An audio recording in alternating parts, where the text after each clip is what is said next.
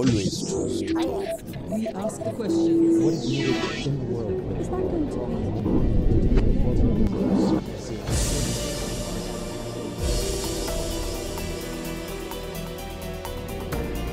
be Millions of emails and phone calls registered in secret by American intelligence agencies.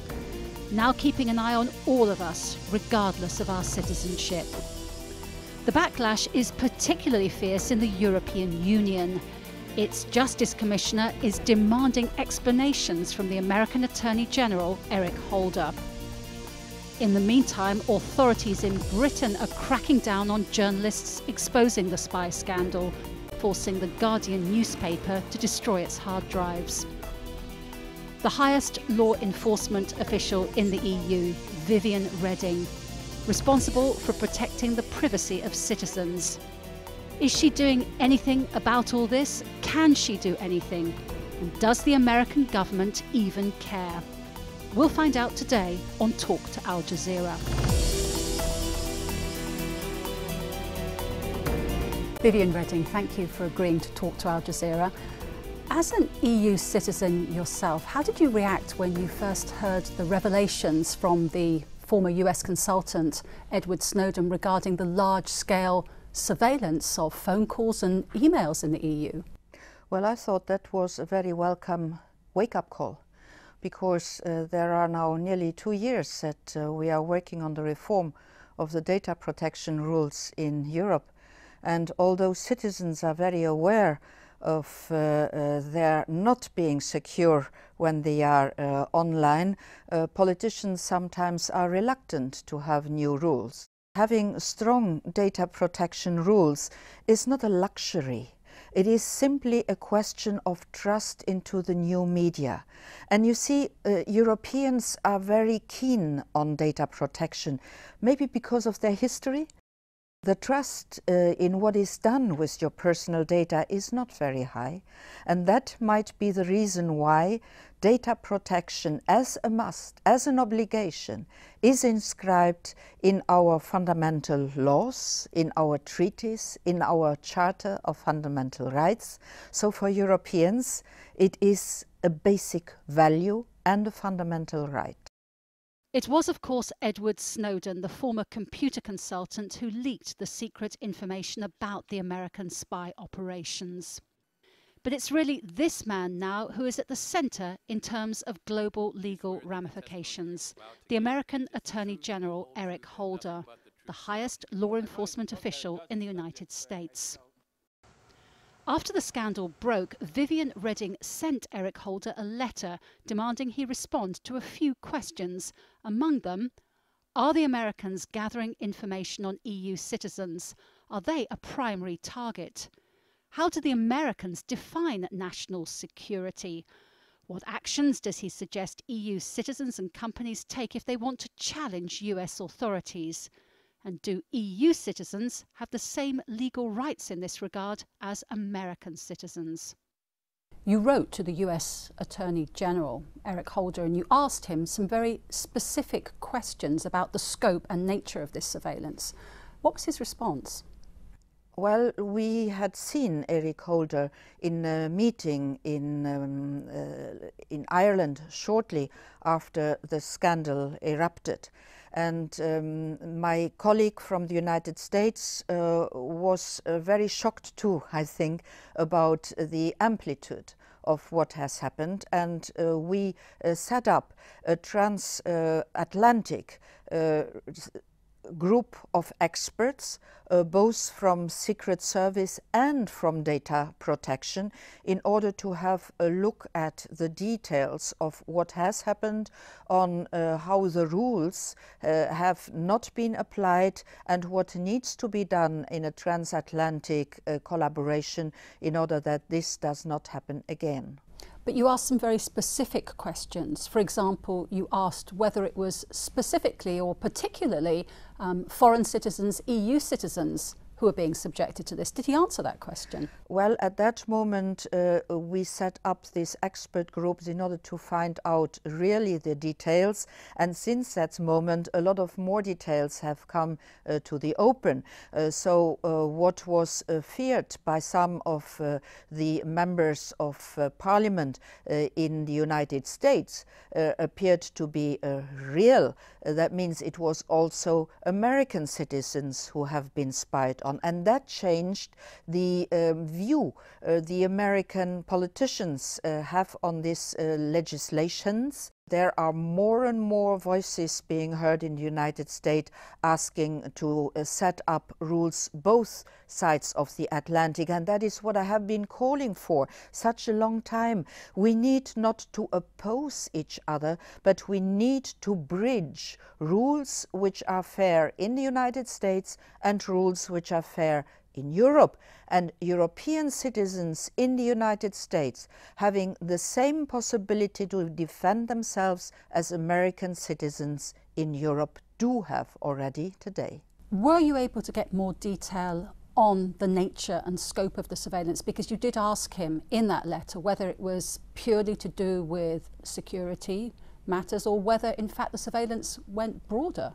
That is exactly the kind of questions we will uh, handle in a bilateral uh, meeting, which is going to take place in the next coming uh, weeks. And uh, we will have then on the table uh, the uh, results of this US EU expert group, and we will analyze this one in detail and see if the rules which we had set up in the, in the past are enough but I have the impression that those rules were bypassed and that companies were forced to give out data of their clients. So, what can you do then in your role and your position in Europe as um, enforcing justice, um, defending the rights of the individual to actually ensure that um, European citizens' privacy um, the right to have their data and to know what's being done with their data, what can you do to actually protect Europeans against this kind of infringement? Two things. First, to have uh, this bilateral agreement uh, where we are discussing now two and a half years uh, between Europe and the United States for the exchange of data uh, in uh, questions of security. And second, to have the reform of our data protection rules in Europe implemented. Is this going to pass? You came up against a lot of opposition before. What makes you confident that it will be different this time? The sheer dimension of the problem uh, becomes uh, so huge that I think that there will not be a government in Europe which can oppose to have stronger and more applicable rules with teeth, as I always say, so that the data protection of the individuals in Europe, that can also be of Americans in Europe, will be protected and that companies will not be in this conflict anymore. Uh, do I um, give in to an American demand which is illegal? Uh, or do I stick to the rules? I hope that if we do have the new rules with the sanctions behind, then they will stick to the rules. Do we have any idea about what exactly is being done, how this data that's being collected has been used? Well, I really wonder. Uh, because if you do not have very sophisticated means of analyzing this bulk of data, uh, this data will be more a hindrance than a help. If you are not going uh, in a very um, uh, uh, concentrated way on looking for something specific, uh, then you are in front of a mountain of data and how to get out what you really need. I really wonder about the efficiency of the system as it has been set up by some uh, Secret Service organizations.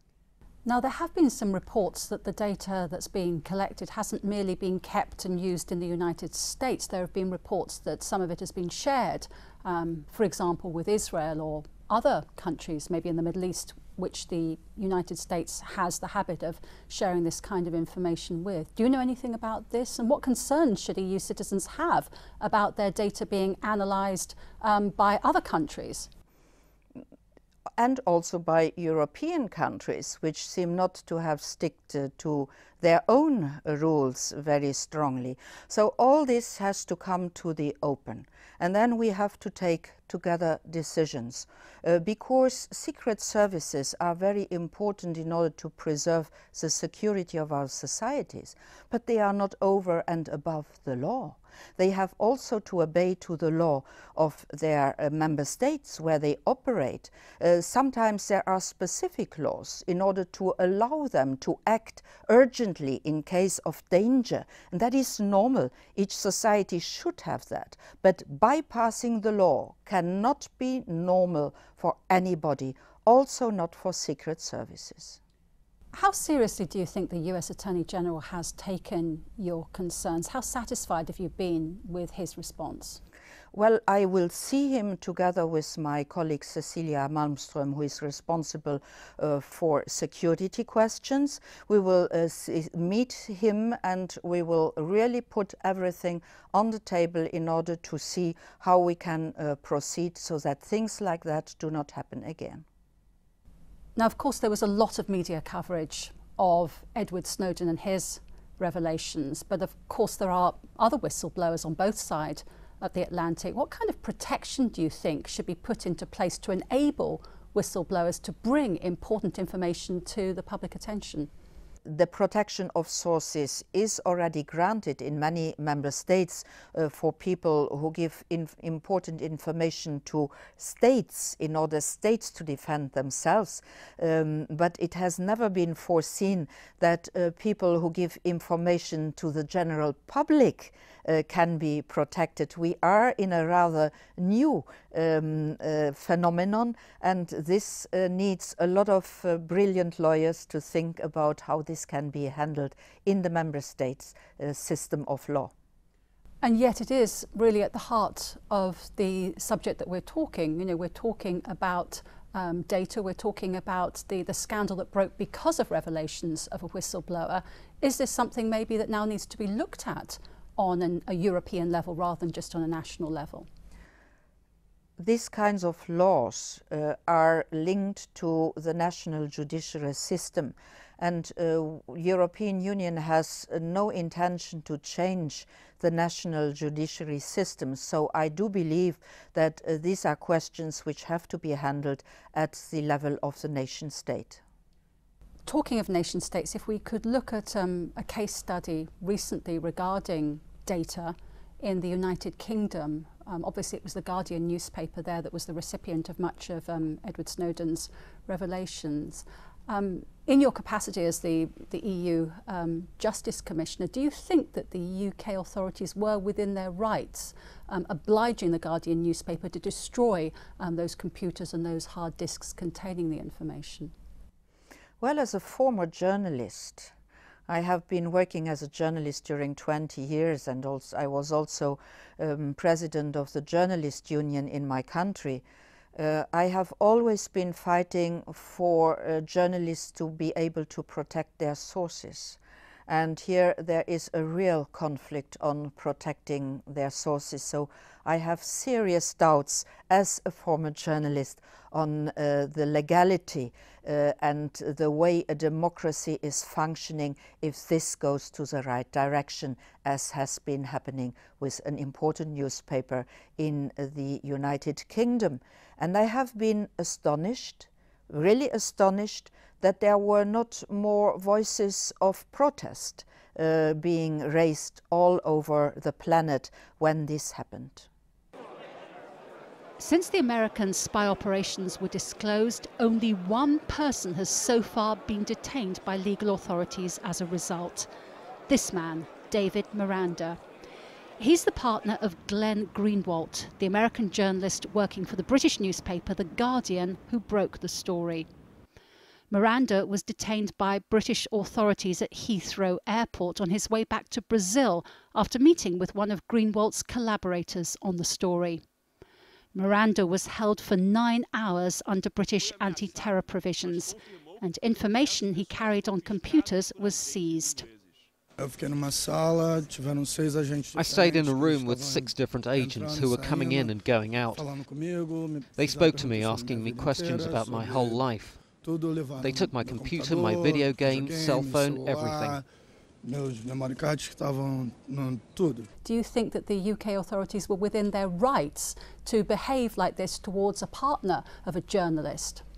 Well, I have a very big confidence uh, into the British judiciary system. That's a solid one, a very independent one, and I think it will be a very interesting story for them to analyze. Uh, I only can repeat what I have said before. I do believe that uh, journalists, as long as they do not uh, go completely against national laws, because that journalists uh, are not allowed to do either, but journalists, while they are doing their analysis work, they should have the right to uh, keep their sources for themselves. If they cannot, then analytic work by the journalists will not be possible anymore, and that will be the end of the freedom of speech and of the free press. Now, in both these cases, in the case of the Guardian newspaper, the, the laws that have been evoked have been anti terrorism laws. Do you fear across Europe that increasingly um, these anti terrorism laws are being used as a catch all to really um, impede journalists and others in doing their work when maybe what they're revealing is something which the authorities would prefer remain secret? After 9 11, worldwide, the laws on anti terrorism were reinforced. Rightly so, because it was a very big shock. And member states, governments wanted to protect themselves and their citizens against possible attacks. So it was logical at that moment that the security part of the legislation was overdone. Uh, now I think we have to come back to an equilibrium. There has to be an equilibrium between the rights of the individual and the security of the society. And one is not an enemy of the other. Both have to be in uh, the two sides of the same coin uh, somehow. And it is very important that we review. Haven't we gone too far in some of our legislation? Rightly so at a certain time of history. And don't we need to re-equilibrate uh, the laws so that security and rights are in balance, or do not become exclusive? Now, in your contacts with EU citizens across the European Union, what is the impression that you're garnering from them? Are they feeling that it has gone too far in the way of um, security and, in fact, that their privacy and their individual rights are being too much infringed now? Well, I can only tell you about European uh, citizens and their feeling that their personal data is misused. Not only by the states, they also feel that it is misused uh, in, um, in the commercial uh, uh, environment. And uh, my big fear is that uh, if they continue to have this opinion and if they develop it, uh, develop, if they develop it to a psychosis, uh, then the whole new economy, the internet economy, the new startups which need the data of the individuals will run into trouble. And that is why I appeal to all those who have economic and political responsibility. Let's do the laws which bring back to the citizens the feeling that their data, uh, dans la mesure du possible, uh, like everything is possible or impossible in human life, can be protected. Sometimes the argument you hear from politicians is, well, if people are not involved in any wrongdoing, what have they got to be afraid of? I mean, how would you respond to that? Well, why then did we have the letter secrecy some time ago?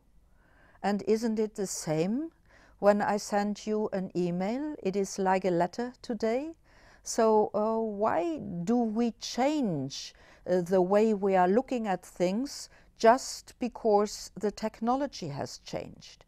We always say, as responsible politicians, what is a crime online is a crime offline, and what is a crime offline is a crime online. So why shouldn't be what is a protection of the person offline? It should also be the protection of the person online. I do not believe that we should, because the media changes, have a change of our rules, of our beliefs, of our values. You've spoken about um, regulations, about laws that can be introduced in order to um, protection. What about actually the technology itself? For example, we've heard of this so-called BRICS cable being constructed from Russia to China, South Africa, around to Brazil, to actually have an infrastructure which is independent of the United States and therefore theoretically their surveillance. Is that the way ahead, do you think? Well, I would not like uh, a wrong uh, assumption to come up that here we are speaking against United States. Because have we analyzed what kind of behavior other parts of the world are having according to the rules of protection of the individual. I'm not sure we would come to a very positive result if we would do that. And that is why uh, this is not a war against United States. This is simply setting up by responsible politicians the defense measures so that citizens can feel at ease, that citizens know, yes, my rights are preserved wherever I am going. And that is also why I believe very much in inbuilt uh, protection, uh, data protection by design or by default, uh, for instance. And I do not believe in big constructions and thinking because they are big and new, they are secure. Not necessarily. It depends on who is handling the instruments, if the instruments are secure or not. What kind of recourse do EU citizens have at the moment um, if they believe or they find out that their data has been accessed, for example, in the United States illegally? How can they challenge that? They cannot challenge that if they are EU citizens living in the EU uh, American citizens living in uh, or, or, traveling uh, in uh, the EU can challenge that in the EU. We cannot challenge it in the United States. And that is why I am asking from our American counterparts to have an equal treatment of American citizens and of European citizens. Both should have the right to complain and both should have the right to judicial redress, Americans and Europeans alike. Is it, in your experience, something that really has grassroots support now? I mean, do you feel that there is a lot of outrage in Europe that this kind of surveillance has been going on?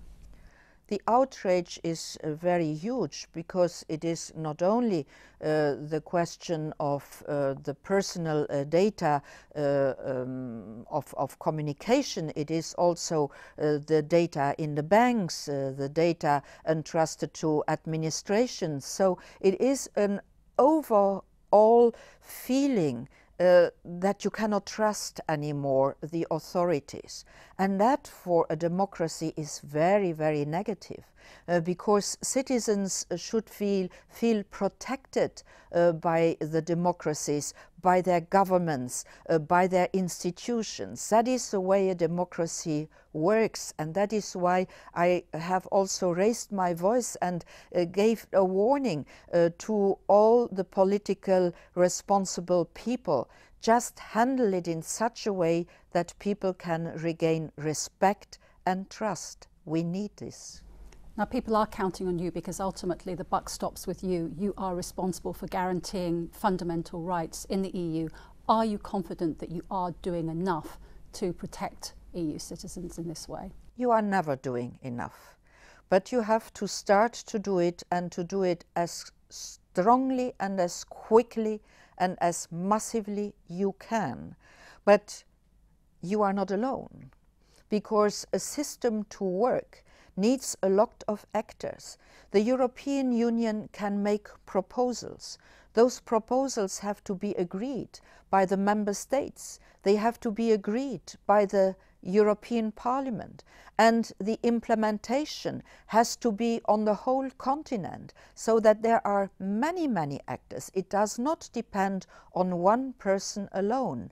It depends on an integrated system of responsible politicians and administrators in order to get that functioning. And I make an appeal to all those governments and to all the members of parliament take your responsibility. Citizens are looking at what you are doing. Viviane Reding, thank you very much for talking to Al Jazeera. It was a pleasure.